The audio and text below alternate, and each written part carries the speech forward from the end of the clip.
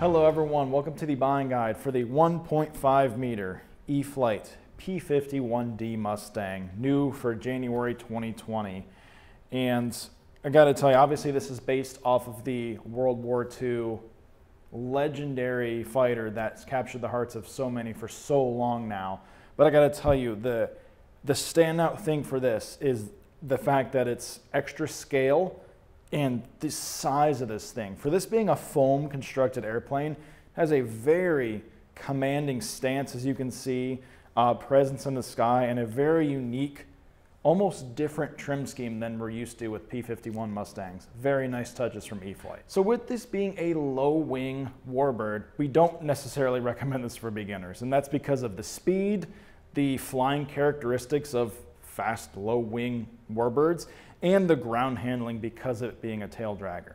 That being said, this could definitely be a good first warbird if you do already have a lot of stick time or hours flying some of our other planes. Especially with the fact that this comes with AS3X and Safe Select in our bind and fly basic model. All those things coupled together make this a potential candidate for a good first warbird. Very cool. Now the other really key advancement with the 1.5 meter Mustang here is the addition of Spektrum Smart technology. So this now has that Avian ESC motor combo with a telemetry receiver. What that does is it drives data to any Gen 2 DSMX protocol transmitter and gives you a lot of key telemetry data, obviously. So I always talk about telemetry. It's kind of like one of those things you think you don't need it, and then you have it and get used to it. And then if you try to go back to not having it, you wonder how you ever live without it. So even something as simple as like battery voltage, knowing your battery voltage could save an airplane.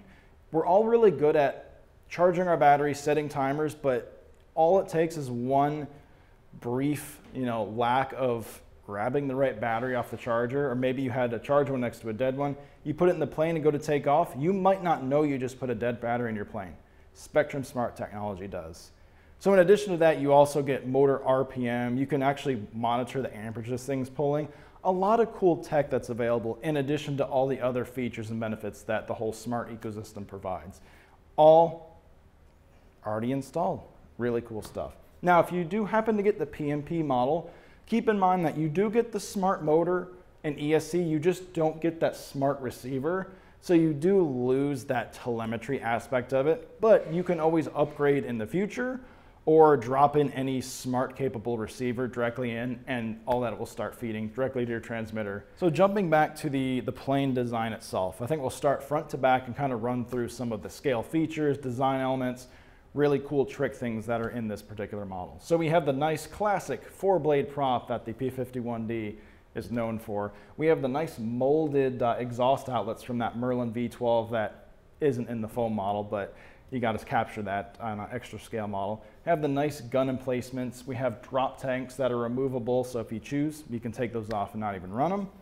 The landing gear on this is like second to none for a foam model. You get a nice sprung undercarriage here, but the really standout feature, oh, the wheels are ball bearing as well, but the real nice standout feature is the doors. So this has sequence gear doors for the main gear and the retractable tail wheel. So all the gear is retractable on this and all the doors shut. It's a beautiful thing to watch and something that really you can't get anywhere else.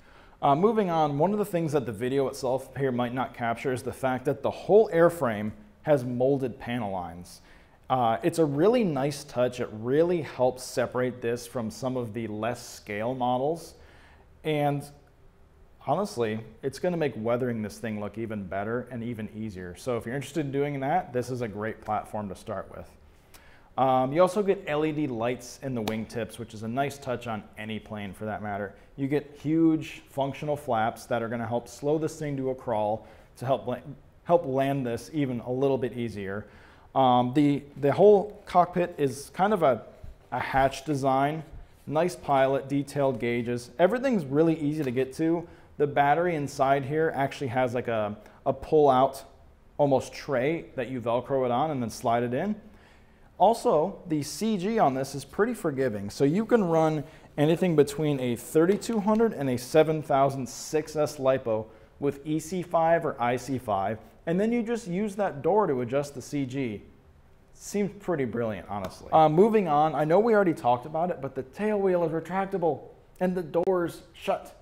It's so cool. Um, anyway, um, another key thing to point out, you don't need glue to assemble this. So um, the wing design itself, if you watch some of our videos, is actually a little different. You know, normally you kind of pull each wing off of a plane and then you transport it that way. This kind of think of like where the flaps end is a section that stays on the plane most of the time. You could take it off, but we've designed this to where the tips, basically from the aileron out, pulls off. That way you can fit it in cars and there's less connections to have to fiddle with. It's all a nice hands-free, nice positive click in there. And we've thought about you guys years in the future. Those clips are replaceable, so they just unscrew and you can put new ones on. That way, if you have 100, 500, 1,000 flights on this and those start getting loose, we're gonna have you backed, obviously.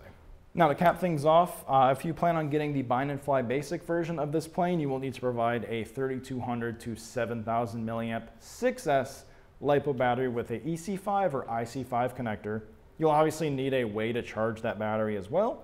And then you'll need to bind up your own DSMX protocol 6 plus channel transmitter. Now, if you plan on using Safe Select, flaps, and retracts, which you need to use retracts on this, um, you're going to need a seven channel realistically, unless you plan on kind of sharing or, or not using safe.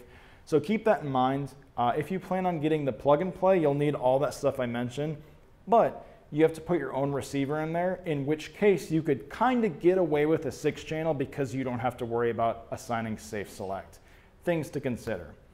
So that is the E-flite P51D Mustang 1.5 meter, new for 2020. Um, if you have questions, comments, concerns, things we forgot about, or you want to rant about Mustangs, let us know in the comments below. But make sure you subscribe and like the video. That way you see buying guides whenever they come out here at Horizon Hobby. Other than that, we will let you guys go. Thanks for tuning in, and we will see you next time. Thanks.